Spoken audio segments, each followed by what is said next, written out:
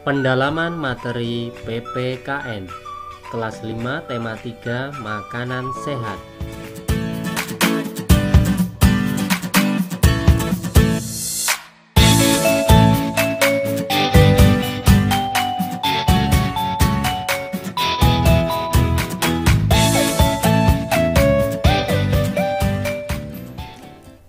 Subtema 1 Bagaimana tubuh mengolah makanan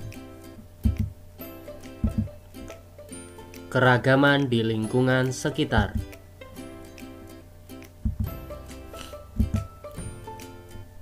Manusia merupakan makhluk sosial yang saling berinteraksi Makhluk sosial adalah makhluk yang saling membutuhkan dan tidak dapat hidup sendiri Interaksi yaitu hubungan ya dalam interaksi terdapat hubungan timbal balik.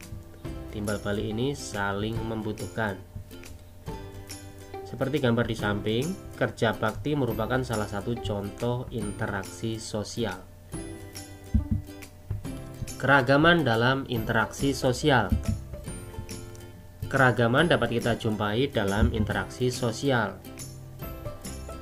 Nah, contoh keragaman adalah perbedaan suku. Di sini Dedi memiliki teman-teman dari beragam suku, budaya, dan agama. Meskipun berbeda satu sama lain, kalian harus memiliki sikap toleransi. Sikap toleransi yaitu sikap saling menghormati dan menghargai kepada teman agar tercipta kerukunan dalam interaksi sosial sehari-hari. Sesuai dengan semboyan negara kita, Bhinneka Tunggal Ika berbeda-beda namun tetap satu jua. Manfaat kerjasama dalam keragaman. Nah ini salah satu contoh kerjasama dalam keragaman yaitu kerja kelompok atau belajar kelompok di sekolah di kelas ya. Manfaat kerja kelompok ada tiga di sini. Yang pertama, pemersatu budaya yang beragam atau menyatukan keragaman.